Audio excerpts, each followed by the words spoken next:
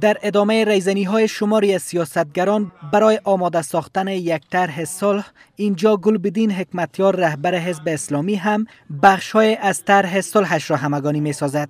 به باور آقای حکمتیار در پرداختن به روند سال باید میان سه دسته پیشتاز انتخاباتی و حلقه نزدیک به حامد کرزی یک اجماع سیاسی به میان آید و ترکیب هیئت مذاکره کننده نیز در محوریت همین ساختار ایجاد شود هیئت مذاکره کننده به توافق چهار مجموعه و به نحوی تشکیل می گردد که تعداد اعضایان کم و محدود باشد.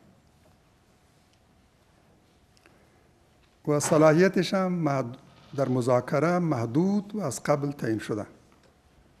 توافق بر تأسیس حکومتی که برای همه اطراف قابل قبول باشد.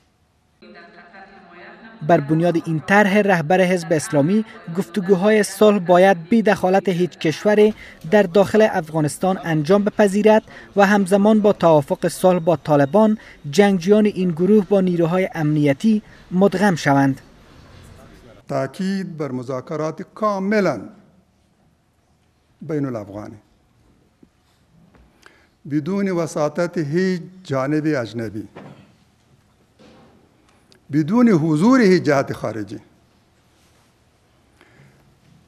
مذاکرات هم در داخل کشور. دیدگاه نظریات و پیشنهادات نتیجه بخش و عملی سیاسیون که به شکل رسمی با وزارت شریک میشه و منظور تقویت و تحکیم اجماع سیاسی روند صلح در برنامه صلح حکومت افغانستان مد نظر گرفته میشه.